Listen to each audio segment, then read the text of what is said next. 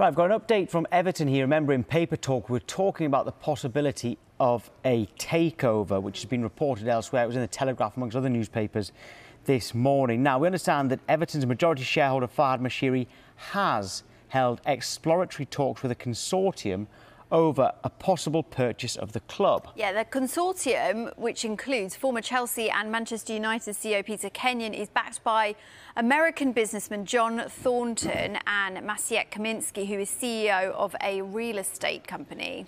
Right, now this is where it gets a little bit more complicated because we understand that Moshiri has been looking for investors to come into the club as it continues to build a, that new stadium at Bramley-Moore Dock. However, this wouldn't be investment because it appears that the American consortium are only interested in a full buyout of the club. Now, Everton are not commenting mm. on this story at this point, but talks between the two sides are set to continue.